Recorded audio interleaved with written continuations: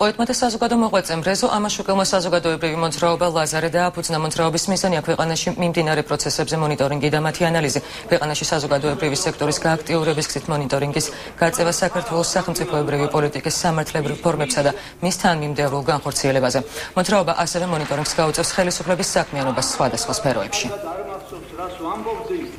ჩვენ ვეცდებით რომ მივხედოთ ის რაც მისახედია, რაც ამათმა წაბილწეს და გააფუჭეს, ასევე ხარში დაუდგეთ იმ ხელისუფლებას, რომელიც საქართველოსთვის წესერ საქმეებს გააკეთებს და რასაკვირველია ვაღიარებ იმას, რომ ეს დიდი ჭირი, რომელიც მოგვაცილა ბიზინა ივანიშვილმა, ეხლა არის ბევრი ის ინოვაციები ამის გარშემო, დაუდგეთ გვერდით და ისე მოვიქცეთ და ისე ვიცხოვროთ, როგორც ქართველებს ეკადრება.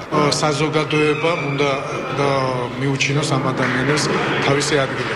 საზოგადოება არის ის ძალა, რომელიც ხელისუფლებასაც და ყველას ვის ხელეწიფება ამ ადამიანების კანონის ფარგლებში მოქცევა, თვითონ საზოგადოებამ უნდა უკანახოს და ძალა უნდა მისცეს ახალ ხელისუფლებას, რომ იმ ადამიანებს, რომელსაც უამრავი დანაშაული აქვს ჩადენილი კანონის ფარგლებში, მთელი სიმკაცრით პასუხი აკეთონ.